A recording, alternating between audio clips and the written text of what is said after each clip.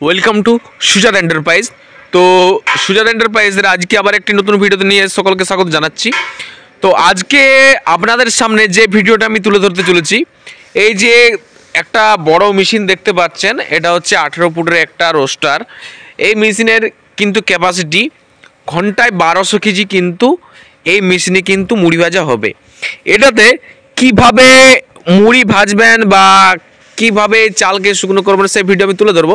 তার আগে আজকে যেটা দেখাবো, সেটা হচ্ছে এই মেশিনের যেটা ভাটি, এটা হচ্ছে একটা নেকেড রোস্টার এই মেশিনের যেটা ভাটি, সেই ভাটিটা কীভাবে বানাবেন আপনারা, সেটা কিন্তু আজকে আপনাদেরকে বলব। দেখুন, চারদিকে কিন্তু একদম মাপ ঝোপ করে আমাদের কিন্তু মেশিনটিকে বস করানো রয়েছে এবং চারদিকে মাপ করে কিন্তু মেশিনটিকে মেশিনটির উপর ভাটি তৈরি হচ্ছে। কারণ এক চুল ইদগে উদগে যেমন না হয়। কারণ সেভাবেই কিন্তু আমাদের যারা মিস্ত্রিরা রয়েছে মানে মুড়ি মেশিন ভাটি বানানোর, তারা কিন্তু মেশিনটিকে, মেশিনটির উপর ভাটি বানাচ্ছে। দেখুন, অনেক কিছু কিন্তু মেশিনের মধ্যে চারদিকে কিন্তু মাপ করেছে এবং মোটা মোটা যে রড, যেটার মাধ্যমে মেশিনটিকে ধরে রয়েছে বা আটকে আছে, দেখুন, খুব মোটা মোটা রড দিয়ে বা এঙ্গেল দিয়ে কিন্তু এই মেশিনটির উপর কারিকার্য করা হয়েছে এবং এই মেশিনটি, আবারও বলি, ঘন্টায় ক্যাপাসিটি হচ্ছে বারোশো কেজি কিন্তু একসাথে মুড়ি ভাজা যাবে। এই যে একটা দেখুন, এটা মাপ করার জন্য একটা মাপের মাপকাঠি।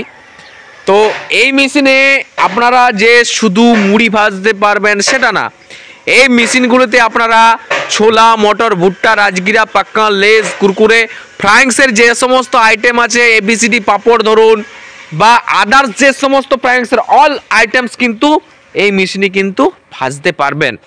যেমন আমাদের একটা মেশিন বসা সত্ত্বেও ঘন্টায় এক টন আমি এর আগেও বলছি ঘন্টায় এক হাজার কেজি, কিন্তু এই মেশিনে ভাজা সত্ত্বেও এই মেশিনটি কিন্তু বস করাচ্ছে কারণ এত আমাদের দিকে মুড়ির চাহিদা, মুড়ি দোকানে দোকানে দেওয়াই মুশকিল হয়ে গেছে। যার কারণে আমরা বাধ্য হলাম যে আরেকটি মেশিন মানে বস করাতে।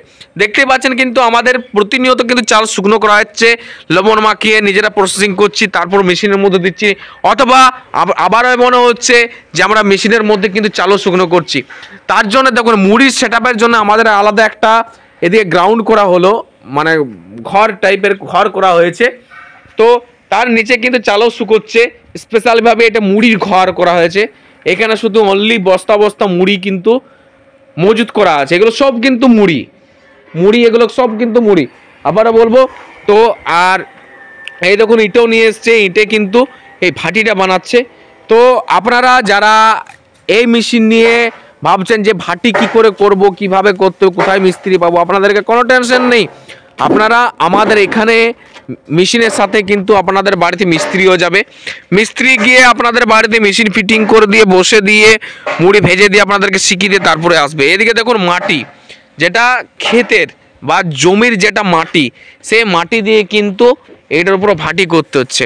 আপনারা যারা ভাবছেন যে সিমেন্ট দিয়ে করব, ফালতু আপনারা বেশি টাকা খরচা করতে যাবেন না।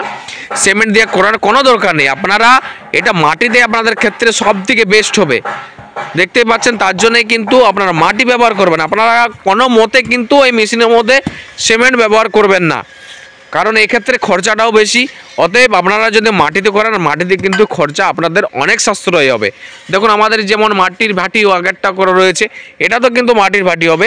যখন পুরো একদম ভাটি তৈরি হয়ে যাবে, মেশিনটি ভাটি রেডি হয়ে যাবে, তখন কিন্তু আপনাদের সামনে আমি কিন্তু আরও ভিডিও তুলে ধরবো যে কীভাবে বানানো হলো।